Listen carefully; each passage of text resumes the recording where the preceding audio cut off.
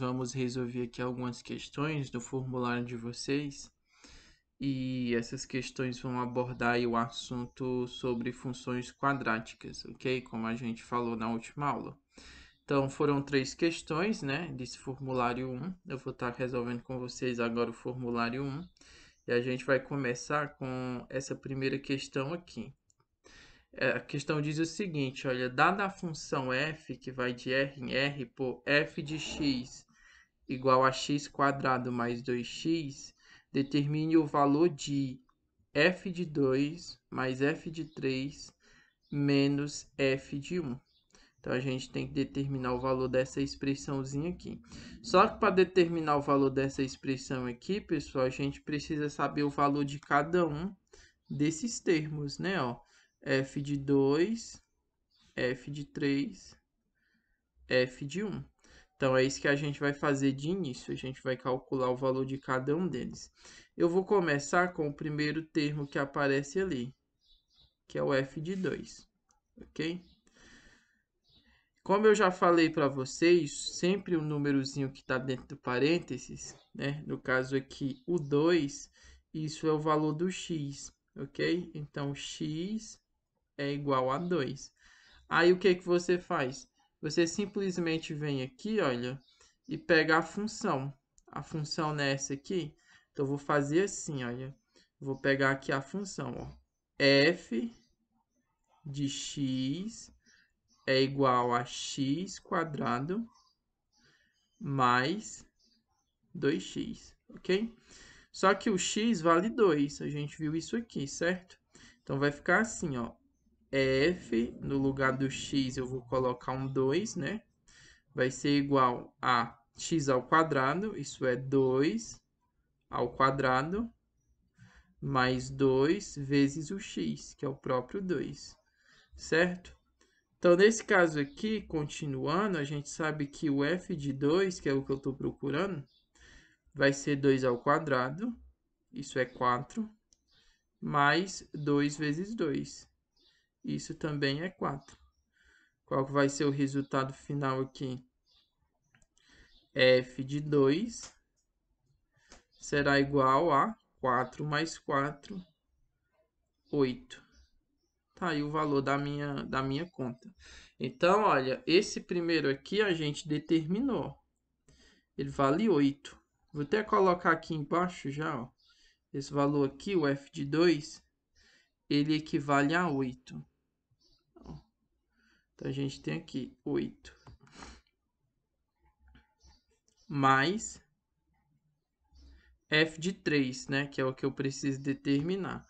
Aí a gente vem aqui, olha, embaixo e coloca o asteriscozinho aqui, porque a gente vai determinar agora o f de 3, beleza? Aí, como eu falei para vocês, o número que está dentro do parênteses aqui é o x. Então, o x nesse caso vale 3.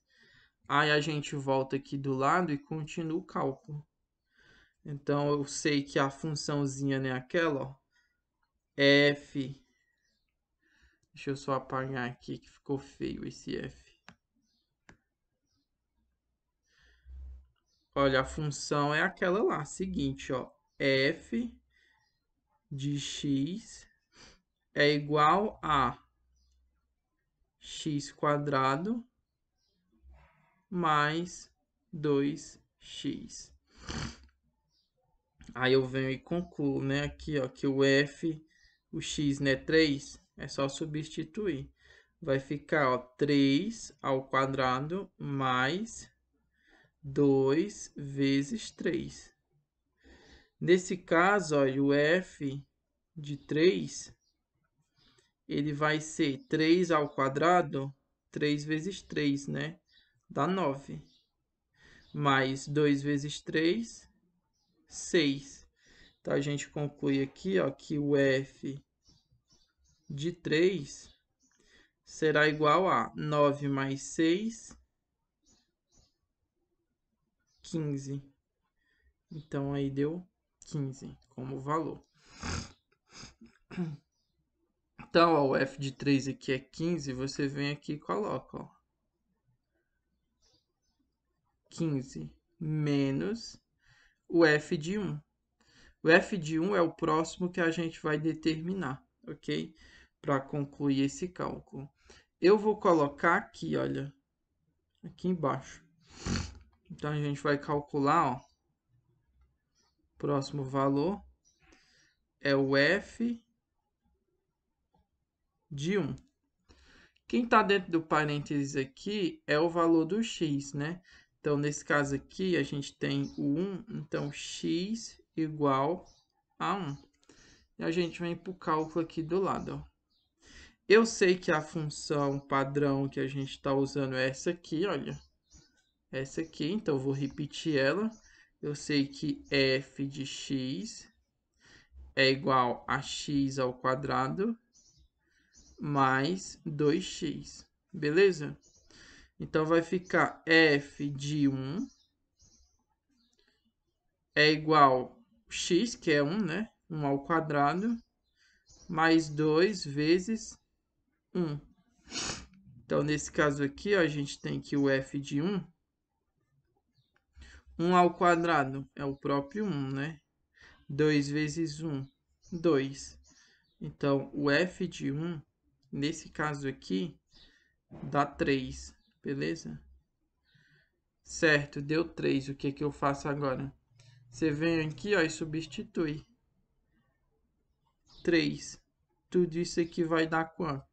Olha, 8 mais 15 é 23. 23 menos 3, 20. E esse é o número que a gente estava procurando. Esse é o resultado da nossa conta, ok? Então, deu 20 aí. Então, a gente segue o passo a passo, calcula o valor de cada um e no final efetua aí o cálculo que está pedindo, a conta de mais e de menos. Beleza? Vamos para o próximo, olha, questão de número 2. Essa questãozinha aqui. Fala o seguinte. Dada a função f de x igual a 3x quadrado menos 4x mais 1, a opção que representa o valor de f de 1 é... No formulário lá, gente, tinha as opções, mas aqui eu não coloquei opção não. Só para a gente ver como é que faz o cálculo. Ele quer que a gente calcule o f de 1 usando essa função padrão aqui, né? Então, é igual à questão anterior, praticamente. Porque, olha só, eu vou vir aqui e vou colocar aqui do lado, ó. Só mudar a cor aqui. Vou colocar aqui do lado, ó. F de 1, beleza? Esse 1 aqui que está dentro do parênteses é o valor do x. Então, x vale 1. A função padrão nessa aqui, olha. Então, eu vou colocar ela aqui, ó. Função padrão. f de x igual 3x ao quadrado menos 4x mais 1. Ok? Aí é só substituir, ó. O x, né? 1. Então, fica f de 1. É 3 vezes 1 ao quadrado menos 4 vezes 1 mais 1. Onde tinha x eu coloquei 1. Foi só isso que eu fiz, tá certo? Então, vai ficar aqui o meu f de 1 será igual a 3 vezes 1 ao quadrado, que é 1, menos 4 vezes 1, que é 4, mais 1. Certo? E aqui, Quanto que dá essa conta? 3 vezes 1 é 3, né? Aí você soma 3 com 1, 4. 4 menos 4, 0. Beleza? Fiz o cálculo aí direto. Então, o valor aí da nossa conta é zero. Tranquilinha nessa questão aqui. A outra deu muito mais trabalho, porque eram três contas que a gente tinha que fazer. Por fim, gente, ó, nós vamos relembrar aqui agora aquele conceito de fórmula de Bhaskara que a gente conhece, certo? Ó, então vamos ver aqui, diz o seguinte, determine os zeros da função. Aí ele te deu essa função aqui, né? Menos x quadrado mais 2x mais 8. Para você determinar os zeros, esse f de x que está aqui, olha, ele tem que ser igual a zero. Então, você coloca f de x igual a zero. Então, se você colocar zero aqui, vai ficar zero igual a essa equação. A gente vai ter uma equação quadrática, né? uma equação do segundo grau. Então, vou reescrever ela aqui, ó a gente vai ter a equação menos x ao quadrado mais 2x mais 8 igual a zero, né? Vocês devem ter visto muito isso no nono ano. Aí, o que, que a gente faz? A gente tem que determinar aqui os coeficientes. O coeficiente é o A, o B e o C. Aqui do lado do x quadrado, a gente tem o a, que é menos 1, ok? Porque só tem o x quadrado, então só pode ser menos 1. O número que acompanha o x é o b, então nesse caso aqui é o 2, né?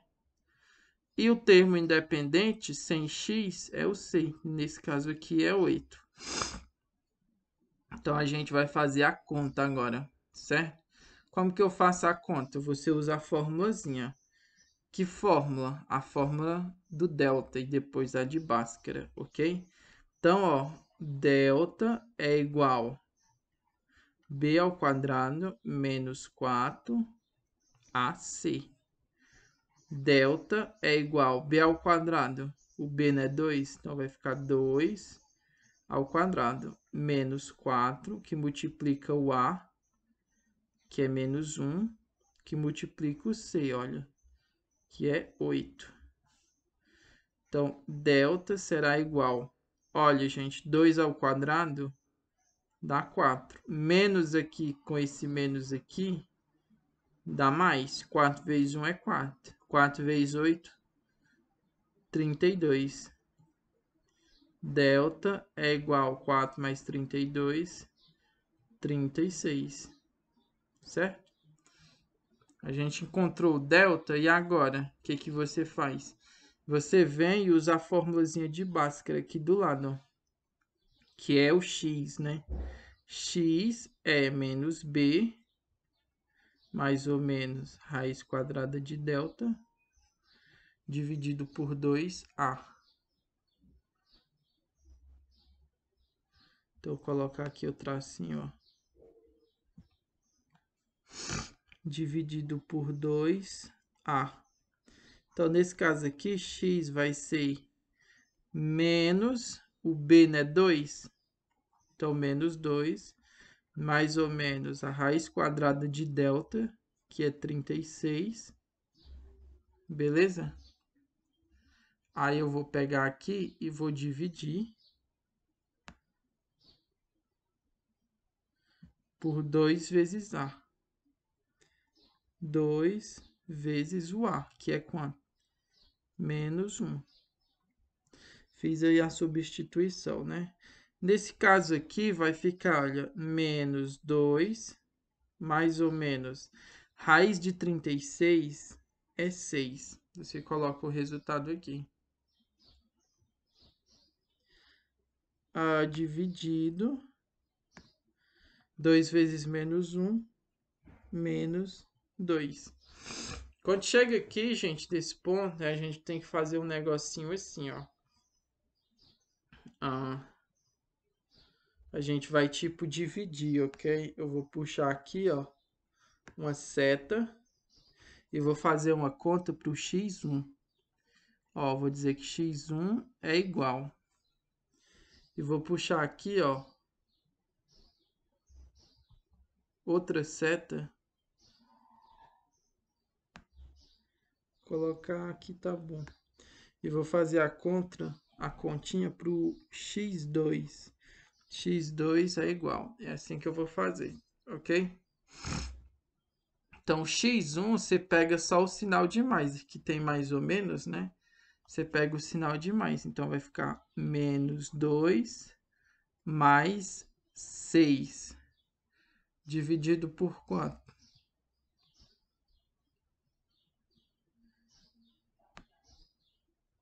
dividido por menos 2, que está ali embaixo.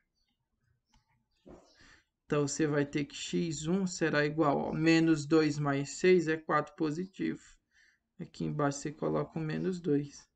Então, x1 vai ser mais dividido por menos é menos, 4 por 2 é 2. Então, tá aí o valor. x1 igual a menos 2. Agora, o x2, ó, você coloca aqui menos 2. Eu peguei o mais ali, agora eu vou pegar o menos 6 certo? Fazer aqui a divisão. Divisão por menos 2.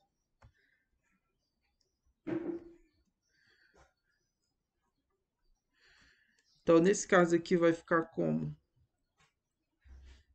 Vai ficar, ó, x2 igual menos, repete o sinal e soma, né? Menos 8 por menos 2.